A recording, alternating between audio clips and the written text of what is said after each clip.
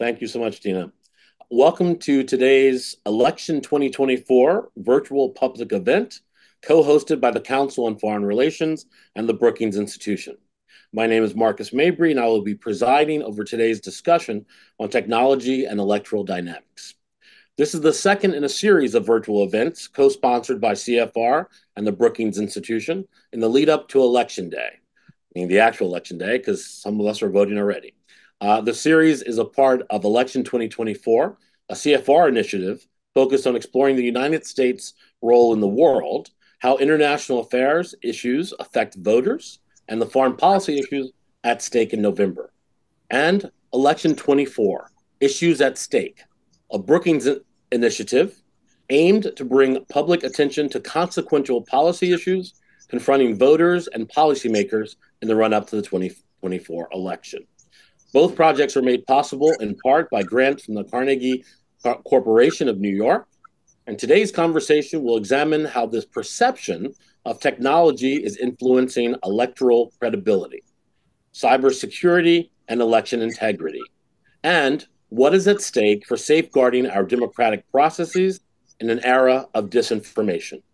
We may not get to every issue in our time to get together this afternoon, but we hope you will bring up the, those most important to you during the question and answer session. So let's get to it. Uh, we are very fortunate to have with us uh, today Kat Duffy, who is a senior fellow for digital and cyberspace policy at the Council on Foreign Relations. She previously directed the Task Force for a Trustworthy Future Web at the Atlantic Council's Digital Forensic Research Lab. There's a lot more to Kat's bio, but you have it available, so look at it at your leisure. And Elaine Kamarck, who is a senior fellow in governance studies and director of the Center for Effective Public Management at the Brookings Institution. She is also a lecturer in public policy at the Harvard Kennedy School of Government. And again, to get more in the lane, you can uh, look at the bios you all have. As a reminder, today's discussion is on the record and will be posted on CFR.org and the Brookings website. So, Elaine, let's start with you. How would you describe the technological threats and landscape uh, around this year's elections? Well, thank you, Marcus. I would describe this as a perfect storm. The election of 2024, we're finding several things coming together. First of all, the technology for doing deep fakes, for spreading disinformation, for having disinformation moved by bots and, and other algorithms is better than ever. Anybody can use it, and it's hard to detect what's fake and what's not fake. So that's the first problem. And we don't really have we don't really have an easy way to discern what we're what we're seeing and where it came from.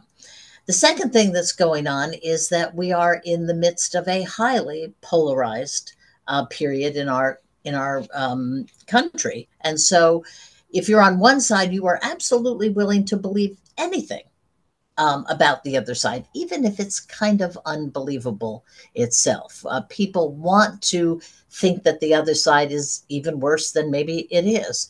And so we've got a very sort of um, ripe public for disinformation. And finally, we have a very close election. The election is so close that even if hundreds of thousands of people believe, say, oh, that story is nonsense, all it takes is a couple thousand to swing a state in a very tight race. So let me start the discussion today by taking you through what I call the anatomy of disinformation. In other words, how do these things happen? And I want to start with a story that I'm sure everybody has heard, which is the story out of Springfield, Ohio, about how Haitian immigrants in Springfield were capturing people's cats and dogs and eating them. Now, it has been widely disclaimed by many people, and yet here's how it spread. Back in June, um, local face, Facebook groups in Ohio posted pictures of children um, chasing geese and ducks in the local parks. Then somehow rumors about these animals going missing and possibly being eaten by Haitian immigrants started showing up on these Facebook posts. By August, a neo Nazi group called Blood Tribe started posting rumors on Telegram and Gab. Um, and members of the organization actually marched in Springfield on August the 10th. Um, one Springfield resident, Anthony Harris, told the Springfield City Commission that migrants were eating ducks in the park. And the same claim was being spread on Gab and then, of course, on X. The story then gets picked up by something called the End Wokeness account, which is also on X, and it used a photo of a man holding a bird. No, no confirmation of the man's nationality, no confirmation of where it was from or anything. Rumors about the geese and the ducks turned into conspiracies about cats and dogs and household pets. Um, Originally, uh, and false claims were spread by far right activists, local Republicans in Springfield, Ohio, and neo Nazis. On the 5th of September, a Trump follower called Lemmy Lou at Buckeye Girl posted the story on X, and she had 2,000 followers. By the 6th of September, it was picked up by a site called End Wokeness with 3 million followers, and on the 9th, on the 7th of September, a guy named Ian Miles Cheong, um, who has millions of followers, posted a photo of police arresting a woman with a dead cat. It was found out later, though, that the photo was taken as Canton, Ohio, not Springfield. The woman was not Haitian. In fact, she was mentally ill and taken into custody, where she faces animal cruelty charges. On the 9th, a a guy named Tyler Oliveira began posting interviews about people whose cats and dogs had disappeared. And that's the day that J.D. Vance, the vice presidential candidate for the Republican Party, picked up the claim and posted it on X and saying, Reports now show that people have had their pets abducted and eaten by people who shouldn't be in our country where is our border czar? Obviously, reference to Kamala Harris. Um, and then the very next day, Trump made the baseless, baseless claim during the presidential debate. Um, Trump and um, uh, Trump are urging their supporters to keep the cat memes going, even though Vance acknowledged that the claims were false. But he thought that it was worth it to keep the discussion about immigration going. Now, what's the result of this evolution of this story, classic disinformation, is Springfield has had 33 bomb threats. It has had to evacuate public buildings, and state police have been put in all the schools. This is what we mean, my co my co-author Darrell West and I mean in a new book that we call Lies That Kill. Um, because in fact, a lot of these things do in fact end up in somebody getting hurt or somebody um, somebody even dying. Let's look back at the Hillary Clinton campaign in 2016.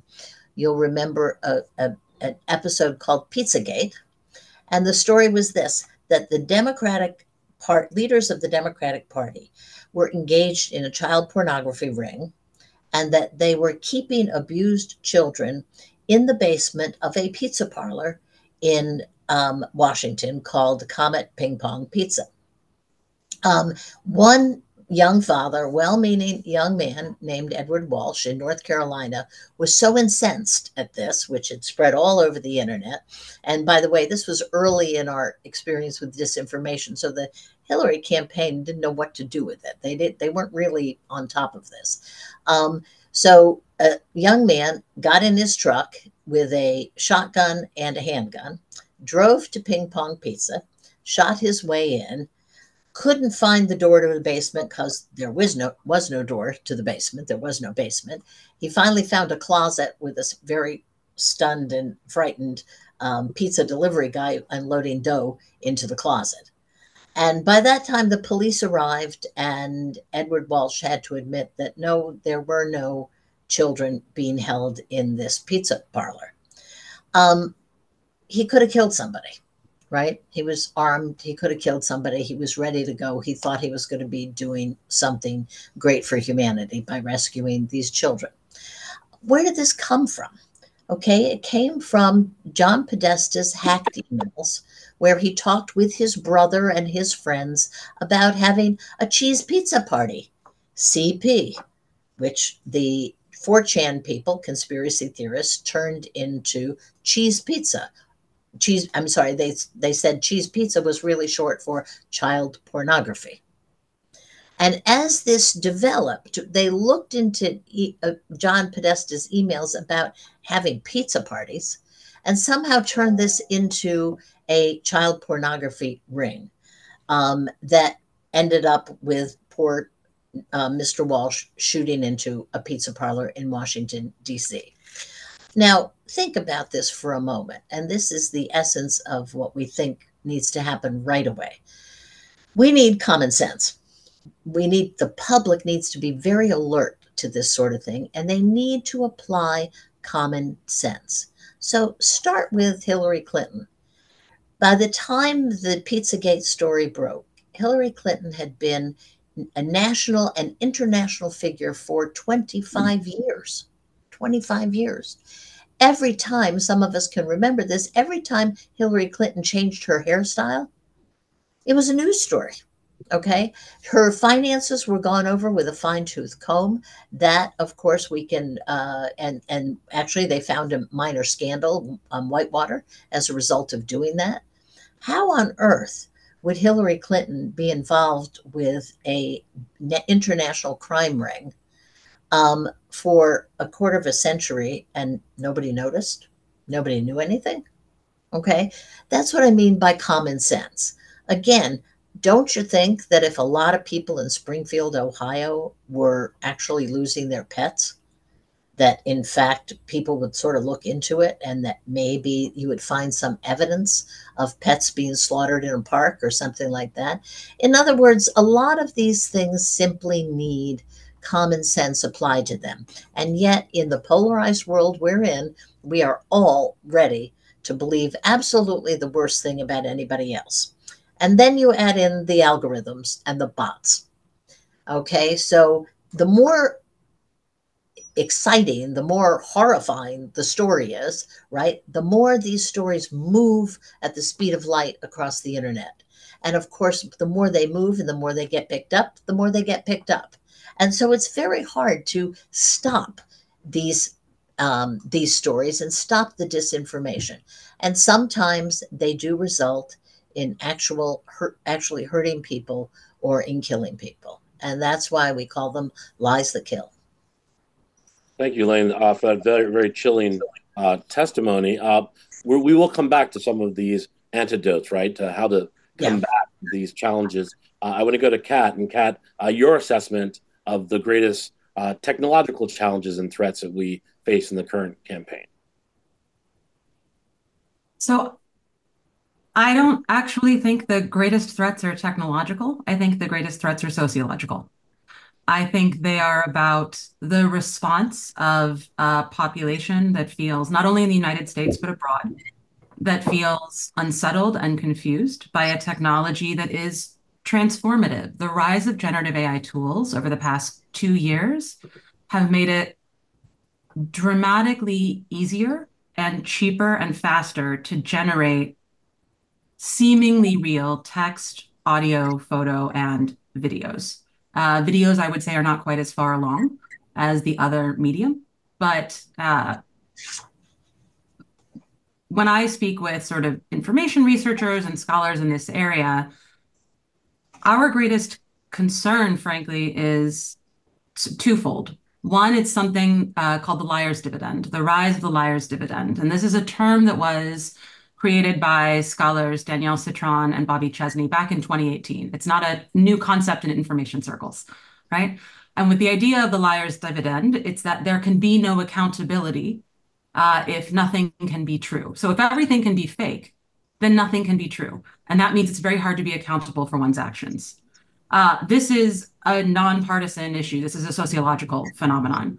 But a good example of it uh, in the most recent memory is Mark Robinson's response in North Carolina to a very clear history of having used the same social media handle across a number of pretty awful sites in which he was using pretty terrible rhetoric. Now, even three to four years ago, uh, first I should say, his argument has been that there is a conspiracy against him to use AI generated tools uh, and that this was not real, that all these posts were AI generated. Anyone who has been a social media researcher will tell you those were not AI generated. Someone using the same social media handle for years and years and years uh, and doing not smart things with it is a is a far more likely scenario than someone going in and trying to fake social media entries from different platforms over decades. Uh, so none of that has the the smell of a sort of AI generated campaign. Uh, but even three years ago, the discourse around those images or around those those posts would have been what does it mean about the candidate that he did this and instead, the liar's dividend allows Robinson to make the discourse did he or did he not do this? That is a fundamentally different debate. And when the discourse is whether or not it actually happened, you then don't get to the substance of the actual candidate who is asking for your vote, right? You're just having fact arbitrage. Uh, now, what's interesting is that there has been an AI generated campaign, if you will, by a Democratic PAC in North Carolina now against Mark Robinson. Those, it's run by a group, uh, a PAC called Americans for Prosperity, P A R O D Y. And these are AI generated ads where Mark Robinson's words are sort of put into his own mouth in different contexts. But in these ads, he has something like 14 fingers, right? And the and there's humans in the ads with their heads coming out. It's very clearly AI generated, very clearly a parody, very clearly a spoof. This takes me to the larger, again, sociological phenomenon, which is that we don't have an agreement, even within households, within schools, within communities, certainly across states or across the country, on what an acceptable use of this technology is and what is not. And so we are sort of in the wild west at the moment of how this technology is being deployed. Interestingly, some states have tried to uh, work with that. Indiana passed a law banning the use of AI unless it was disclosed in uh, campaigns. And yet, just this week, as part as the first entry in a million dollar ad buy, a Republican candidate, the Republican candidate for Senate, put out an ad against his opponent where he took campaign signs from behind her in a rally and they were all um, digitally altered to reflect a totally different message, something about no gas stoves. Uh, that wasn't true. It looks quite realistic from the photo, and it's in fact in violation of Indiana law. The campaign finally came back and said, no, no, no, that was a mistake. Uh, we meant to say that we had used AI on those images. And so no, those those ads are still running, but the use of AI in those ads is being disclosed. First of all, disclosing it doesn't mean that people conceptualize it differently, right? So the neuro the, the neural pathways and the cognitive bias that we have for the different ways that we receive information are not something we fully understand yet. And so the way that people absorb these technologies, disclosure or not, is still not entirely clear to us. Uh, and so that takes me then to the second critical concern, which is a loss of faith generally in the credibility of the elections. There's a really interesting survey that came out from the Rainey Center this morning, in which they polled um, a sort of wide sample of individuals and asked for their top concerns in terms of technology. And it was privacy, kid safety, and electoral integrity as the top three results. There's also a recent poll that came out from Issue One, where they were polling on questions of electoral integrity and credibility. And only 37% of Americans said they would have a lot of trust in the results of the 2024 election, regardless of who wins.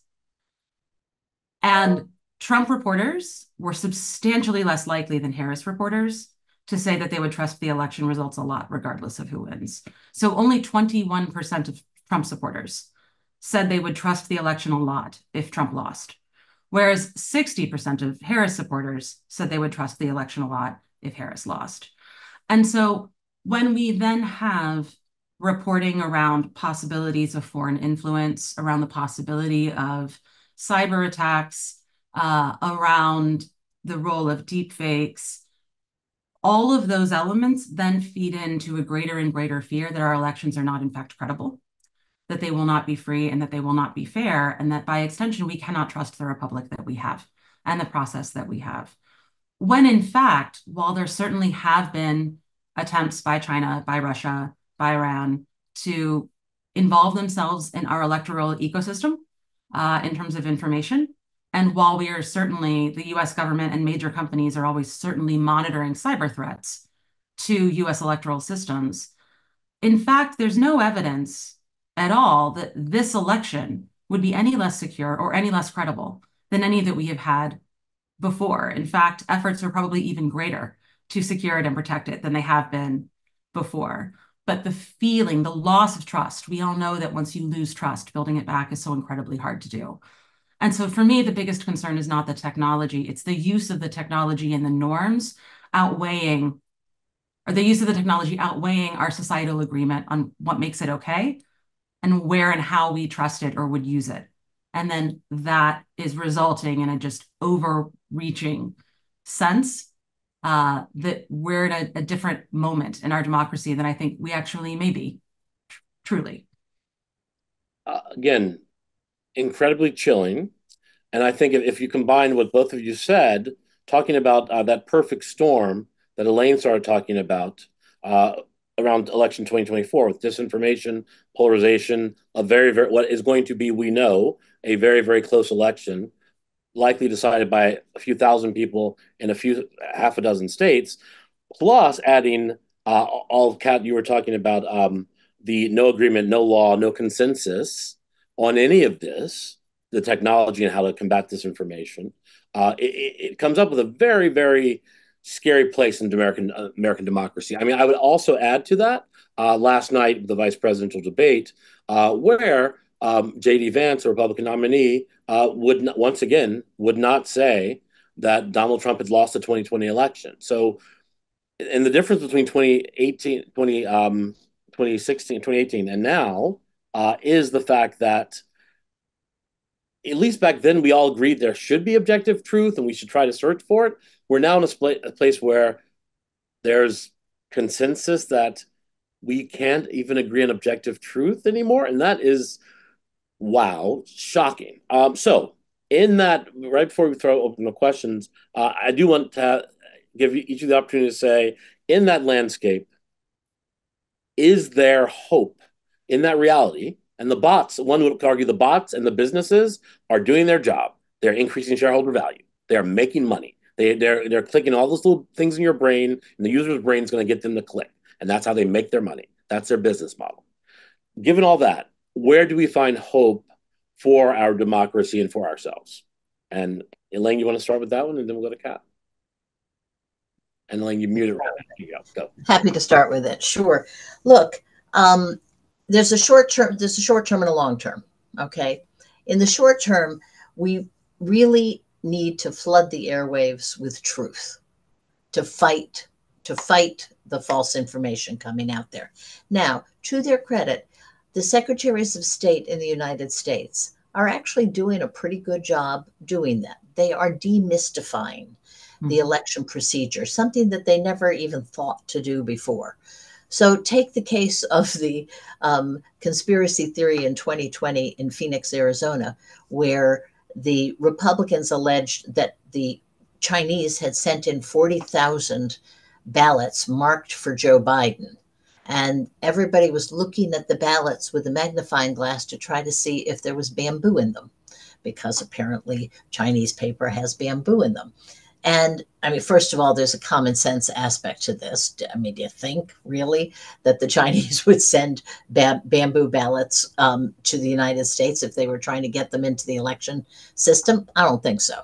But more importantly, is this told the officials in Arizona we need to explain things like ballot security like where ballots are printed, like they are held under lock and key.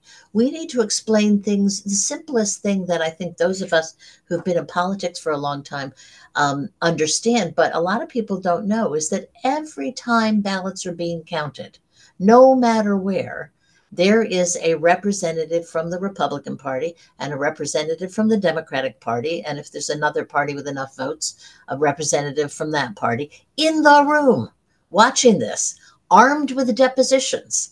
At this moment, there are thousands and thousands of Democratic lawyers and Republican lawyers getting ready for Election Day. Now, unless one party is completely asleep at the switch, you know, you hear about these things right afterwards. They go right to court, you know, and they move their way through the system. Um, of all the challenges that the um, uh, all the things that the Trump said went wrong in 2020, right? He filed. There were only 61 loss, 62 lawsuits filed, and he lost 61 of them because there was nothing to them. So there is a system in place. And so what the secretaries of state have been doing is they've been educating people on election administration. Usually a boring topic, not anymore. Um, in Michigan, there was some false information put out on the internet. The Secretary of State took that information, stamped false on it, and threw it back out on the internet and on the airwaves and every place. So you have to just simply fight back. And you have to understand that competition actually works. You know, competition in our marketplace, in our capitalist system, generally works so that after a while, people don't buy cars where the doors fall off right? We we we get pretty smart. There's always somebody out there saying don't buy that right? Well competition works in elections too because the political parties each have a stake and they are each watching so that makes it hard to manipulate the election system I think when we look longer, um, countering lies and um, using common sense are our short term, our only short term options here. When we look longer, we have to realize that disinformation makes people money. And I don't think we really understood this as a society until the Alex Jones was put on trial for broadcasting widely that the children murdered at Sandy Hook were in fact uh, were in fact fake. That this was this was all a, a fake deal to, to for people who supported gun control. Um, because of that, the parents of those children put a lawsuit against Alex Jones. Turns out Alex Jones had a lot of money. Turns out that his show had subscriber money, that he sold merchandise, that he had speaking fees. There, there was a lot of money there.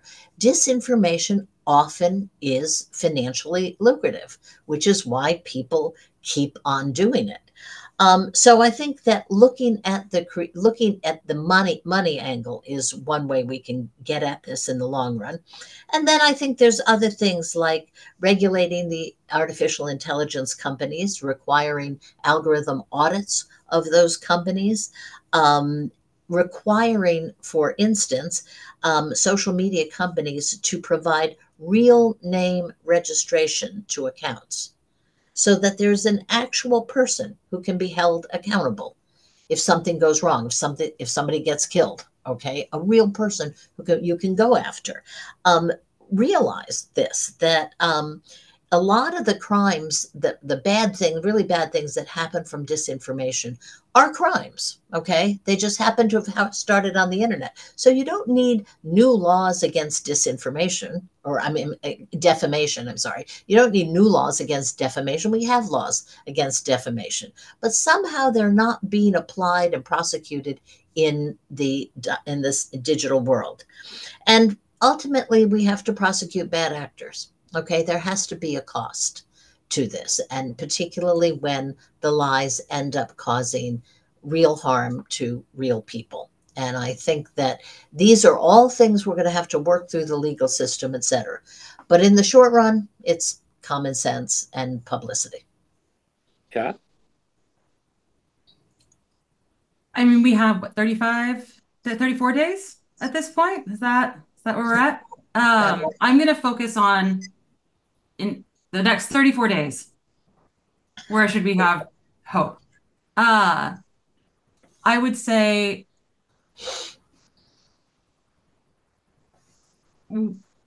there is exceptional reporting and exceptional monitoring coming out, not only from uh, CISA, the cybersecurity information body of the Department of Homeland Security that monitors electoral security and looks for cyber attacks, but also from the leading companies. Microsoft is excellent reporting uh, Cloudflare sometimes does reporting. Google does reporting. So there is a there is a tremendous focus, and there is no nation in the world that is more capable and more technologically sophisticated in terms of its government and other actors for monitoring for irregularities or monitoring for cyber attacks. Now, I would say in the week or so leading up to the election, if we try to learn from elections that have happened around the world, I think there is a greater risk of some types of information uh, being pushed out there as real when they may not be. Audio deepfakes, I think, are the highest risk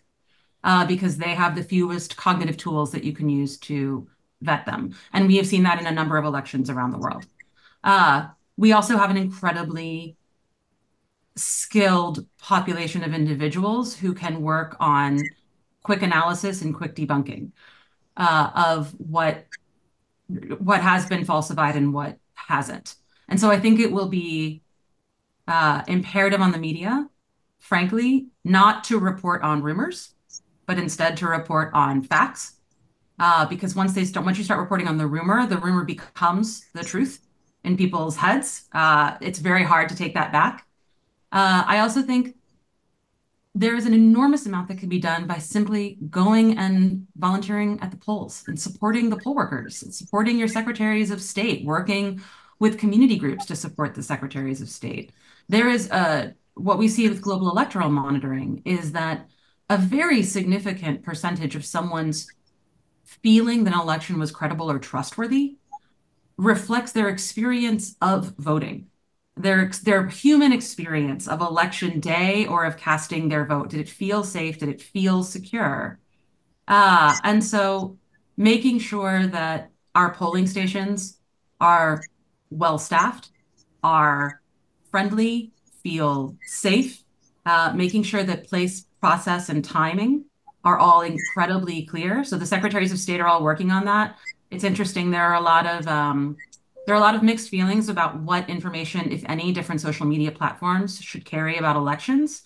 There's actually not a lot of disagreement. According to polls, uh, there's pretty widespread consensus that social media platforms can do a lot to ensure that people know where their local polling station is, how to register for the vote, what time the electoral window is, and what that process is. That isn't something where people have a lot of anxiety in terms of that information being pushed out. So I also think that we'll see a really concerted effort among those who do have information to get out good information as fast as they can uh, in the coming weeks. One of the challenges will be some of that information won't become clear until weeks after the election, right? It's not always clear in real time. Uh, I think another challenge, and I've spoken with several secretaries of state about this, is that their protocols aren't set up to be able to necessarily generate a clear result on the day of the election. And so the longer that window goes between having a clear winner, especially at the presidential level, but also at state and local levels, the greater the window for bad information uh, and conspiracies to build.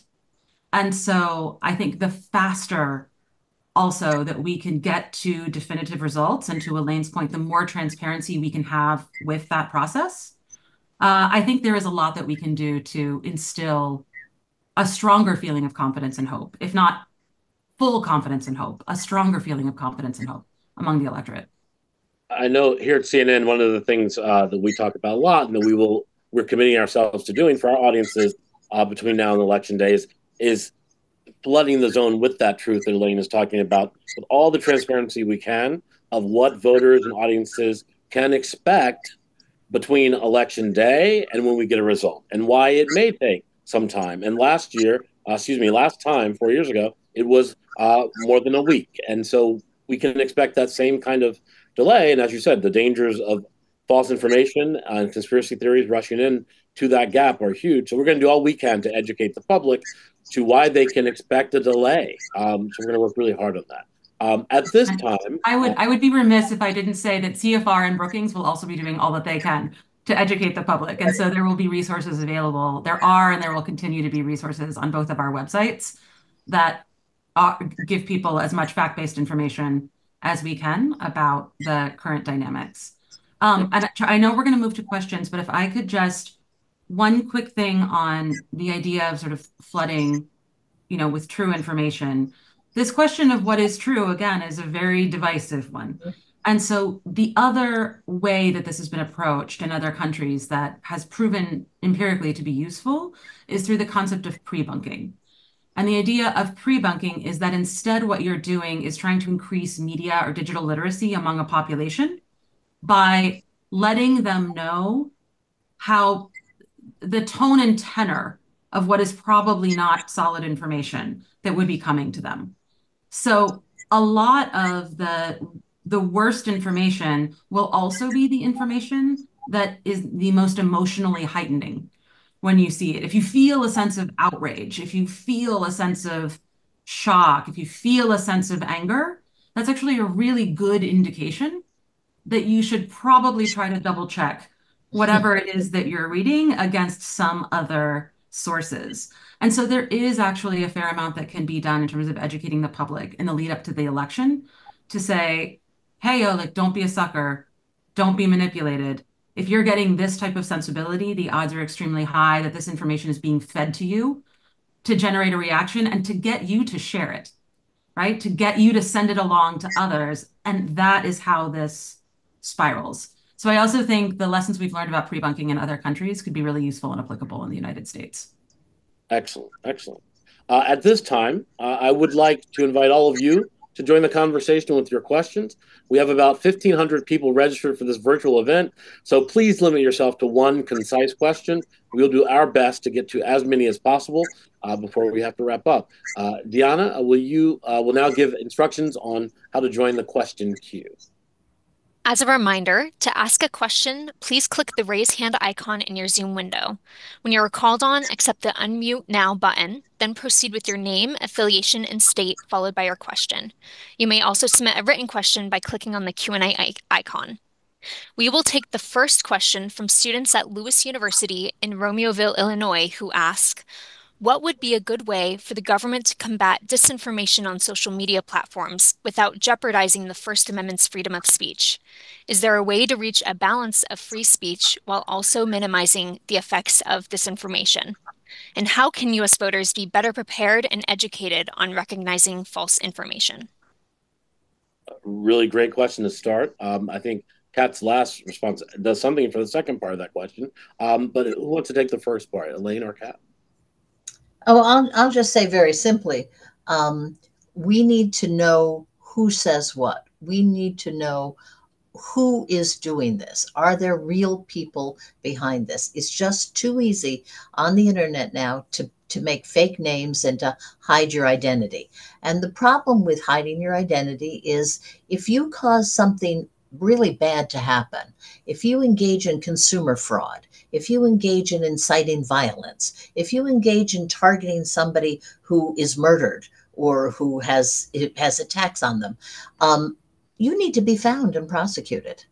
And right now, that doesn't happen. So I, I'd say it's very simple. Start with making sure that people who are on these social media platforms, there is a real human being who can be held accountable if need be. Kat, would you like to add anything? It's certainly an excellent question, and it's one that has, um, I think, pervaded this entire electoral cycle. We've had a lot of Supreme Court decisions uh, on these questions, including Murthy v. Missouri earlier this summer. Uh, one um, immediate impact has been that uh, CISA, again, the agency within DHS, no longer engages on questions of content. They only engage on questions of cybersecurity and sort of electoral threats that we're seeing in the networks. Uh, this is a this is a very tricky issue. I mean, I think it's important to remember that if you are a company in the United States, you have your own free speech rights vis-a-vis the US government.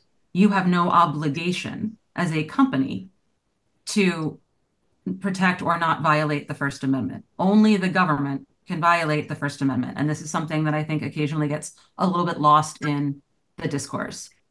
Every company and every platform within those companies has its own different policies and procedures, and those change uh, with time as well. And so the way that you see Facebook, for example, handling this now versus the way Facebook handled it in four years has shifted dramatically. Uh, the way that Telegram is going to operate is different than the way that Reddit works, which is different than Discord, which is different than WhatsApp, which is different than your group chat, which is different than YouTube, which is different than Instagram, which is different than, and on and on and on. Uh, and so I think that part of the problem that we're seeing with these echo chambers, at least, is that people also tend to gravitate to the platforms and then to the groups within those platforms that feed their own internal biases and then they will also go to, you know, media outlets that do the same. And so we really end up in these strong echo chambers. Um, I think that the best approach uh, is certainly if the government becomes aware with in working with, you know, the companies and researchers that there is a foreign influence campaign at play. That is certainly something that the government can take on because at that point you're not talking about free speech right? You are talking about national security and a foreign influence campaign. That's not the majority of what's happening, though, right? The majority of this, the call is coming from inside the House. And what we're talking about is Americans, even if it's a foreign generated narrative, Americans picking up that narrative and amplifying it. And that's when they start to have their own free speech rights. Again, not vis a vis the companies. The companies have complete control over the content they put up and the content they don't put up with a very limited number of exceptions around things like child pornography, terrorist content, um, you know, fraud. There's a couple of exceptions there. But uh, we have Americans who are engaging in this speech and amplifying it. And so I don't think it's as simple as a content moderation question or a governmental policy. I think it's it's actually we're just going to have to learn as a society uh, how we navigate this collectively, and and people will end up, frankly, choosing. Uh, there will be a bit of a caveat emptor situation here, and people will end up gravitating to the platforms where they feel um, it has the most use for them. I, for example, no longer post on X uh, because I have found it to just become such a toxic site at this point. So I primarily now live on LinkedIn, whereas I used to live on Twitter. So. Thank you. Uh, Diana, next question. We will take the next question from Sarah Valero. Um, hi there. Thank you so much for this conversation. Uh, this is Sarah Valero from the Global Association of Risk Professionals. Um, those of us who are on this webinar and understand the nuance and importance of information and fact checking online, I want to note, though, that of course the majority of this country are, are average citizens going about their daily lives um, to bring up a point that Elaine was saying that there is, you know, there is an individual behind the social media and technology. What are actions that we can do with our family, our friends, our community to share this in ways to avoid the challenge of being divisive? Because I think for some people that seems a bit intimidating they may not want to even watch the news or see anything because of the divisiveness and the noise. So then how as we individuals can reach those folks that we know um, and best communicate with them? Thank you. Another great question. Who'd like to try, take that one? And I'll just have one of you that one, then we'll go back to questions. So who's all right? I'll I'll try one of them. Um, listen, I, that's that is a great question, and I will come back to common sense, and I'll tell you another little story about this. Um, you all may know of a football player called Damar Hamlin. Damar Hamlin just played for the Buffalo Bills this past Sunday. Um, and in January of 2022, he got hit in the chest and he suffered cardiac arrest. He was taken off the field. People didn't know if he was going to live. Very scary uh, situation. Um, that spring, there was a producer making a movie called Died Suddenly. And the theme of the movie was that COVID vaccines were killing people in the prime of life. It wasn't just old people, they were actually killing young, you know, athletes like Damar Hamlin. And uh, they put Damar Hamlin in the movie. And the movie came out over the summer. Well, in September, Damar Hamlin was back on the field, playing, playing for the Buffalo Bills. And somebody asked the movie producer, said, uh, wait a minute, the guy didn't die. Look, he's he's right there. The producer said, Oh, it's a body double. Now, again, and this is this is a sort of technique you can use with some people. Think about it for a moment. You could probably find a black man in his 20s who looked like Damar Hamlin in America. Okay, probably could. Could you, however, take this person and put them in the on an NFL field and expect them to play in the NFL where you have the most skilled, fabulous athletes in the world? Could you really? Don't you think somebody would notice? Don't you think that, you know, maybe the athlete would say to themselves, oh, I'm not doing that. Don't you think his teammates might notice? In other words, there are so many of these things that just don't add up, just don't add up. Look at the assassination attempt on Donald Trump in um, in Pennsylvania uh, just a few weeks ago. Immediately, the left wing, you know, um, meet, social media was filled with, "Oh, he he made this up. It's all a fake. He did it to get sympathy. His campaign was lagging. He he he set the whole thing up." Now, wait a minute. If you were going to set this up, would you in fact hire some 20 year old nobody to shoot at you, to shoot at your head. Okay. The guy wasn't, you know, the guy wasn't a sharpshooter from the IDF or anything like that, right? He was just some, you know, confused young man, right? That's kind of a risky thing to do. Do you think somebody would really do that? Okay. So again, you've you've got to take this back to a sort of common sense one because a lot of these things it just simply doesn't add up. And as we're in this very sensitive period where, um, as as we've all remarked, where the technology is really good, but and the and people are really primed to um, believe anything. And I I, I love Kat's uh, characterizing this as a sociological problem as opposed to a technological problem. As long as we're in this period of time, the only way you can do that is to try to bring people back to a sense of truth and common sense. And that's about as good as we can do until we get a better handle on the problem. Thank you, Elaine. Uh, Deanna, that was our next question. We will take the next question from Shannon Raj Singh. Hi, everybody. Uh, this is Shannon. Uh, I'm in California. I'm the former Human Rights Counsel for Twitter, although I share Kat's uh, reticence to using the platform now. I think it's a really different place. Um, thanks so much for all of your remarks. And Elaine, I thought it was really helpful how you articulated sort of the financial incentives around disinfo and just how lucrative the industry can be. And I, I, wondered if you could just drill down on that a bit more, because it seems to me that the disinfo for hire industry is really the elephant in the room in addressing some of these dynamics. How do we how do we address that as a community? What do we do about that in um, sort of protecting electoral integrity? Thank you. Um, disinformation, uh, the financial incentives. That... Info for hire. Yeah, exactly. Yeah, yeah. Um, I, I think we have to prosecute and I think we have to sue. Okay, we have a legal system. It is set up for this. Um, if you commit consumer fraud, you if somebody commits consumer fraud, they can be sued. They can lose their money. Um, I think that the Alex Jones trial, where he was he was fined hundreds of millions of dollars. Okay, that's that's actually very instructive.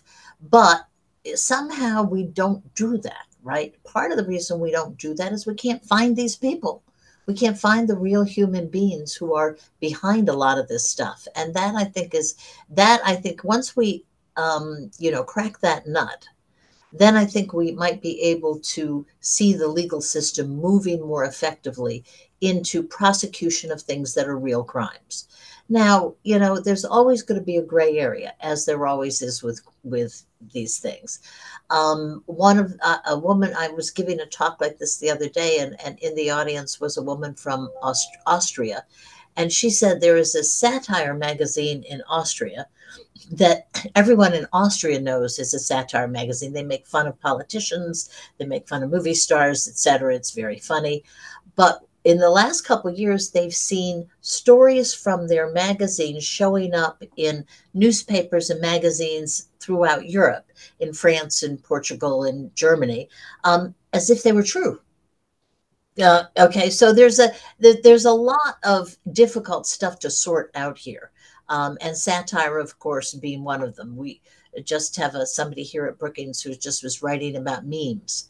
You know, memes can be really funny. I love memes. I mean, we all do. They can be really funny, but they can also be disinformation hiding under satire, and th- so these things these things get really really tough. But we do have to start looking at, and I think the way to begin is look at consequences. If the consequences are serious, then you got to unpeel it back. If the consequences are somebody's hurt feelings, I'm not sure that that's a crime.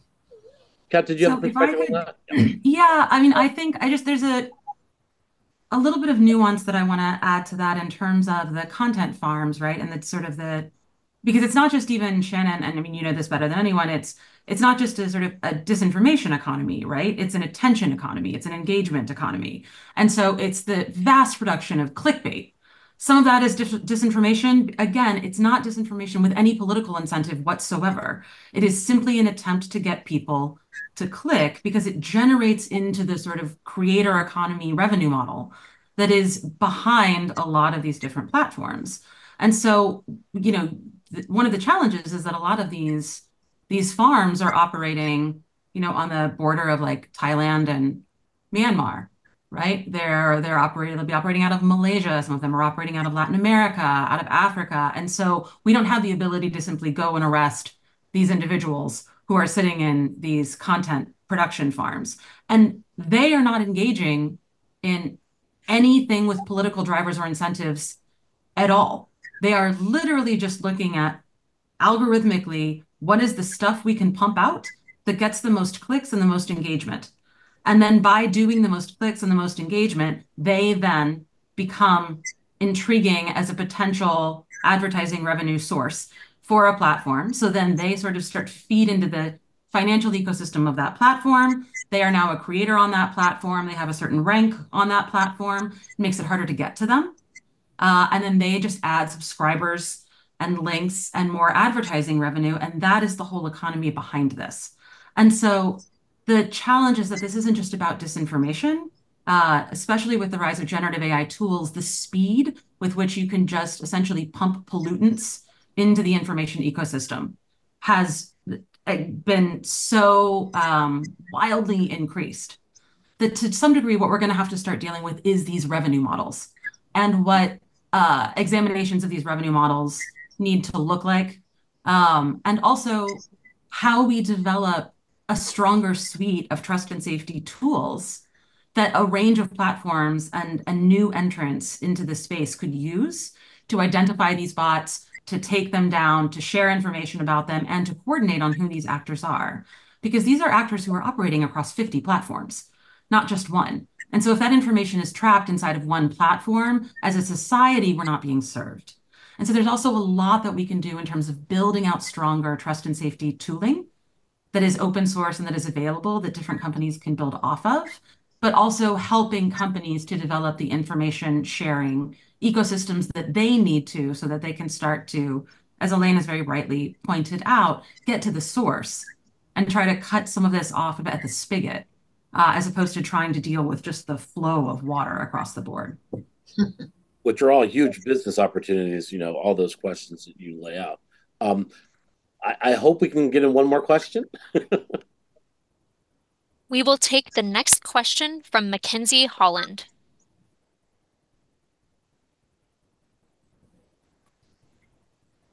Hi, how much does it kind of going off of this theme of stopping cutting this off at the spigot, how much does the domain name system contribute to the issue of disinformation? Is there anything to be done about that? Because this is kind of going off of the DOJ seizure of, uh, I think it was 32 Russian backed domains last month in a disinformation campaign mimicking legitimate news sites.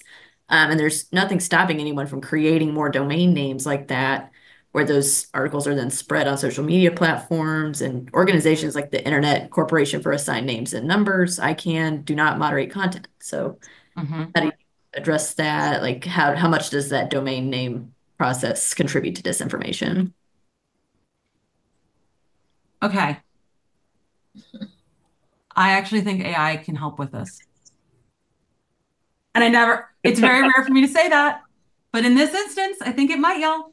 Um, so what you saw with the DOJ taking that down, first of all, I just think we're going to see, not only in the United States, but in a lot of other countries, we're going to see increased capacity to identify this and then to report those domains and coordinate on those domains. This is something where I, I do think, you know, in terms of coordinated inauthentic behavior and just completely false information getting pumped out, again, through the lens of foreign influence, right? As opposed to like an American who's generating these websites. And this is where it gets really tricky on the First Amendment issues because, you know, uh, the Russian cyber mercenary group has no First Amendment right uh, in the United States, but an American citizen certainly does. And so I do think we'll see increased capacity here. I also know that um, at a lot of the largest companies and at the platforms that are hosting these sites, you know, there are reporting mechanisms as well for saying like this site is fraudulent, this site is, you know, malicious. And so there's also potentially something that can be done around those reporting features that allow the companies to work with each other to spot platforms that are getting a lot of uh, sort of a lot of traffic and or a lot of reporting uh, that that don't have a long tail. So the backend and the analytics there are something where I think AI is going to be helpful in analyzing that those sets of data more quickly than humans might have been able to.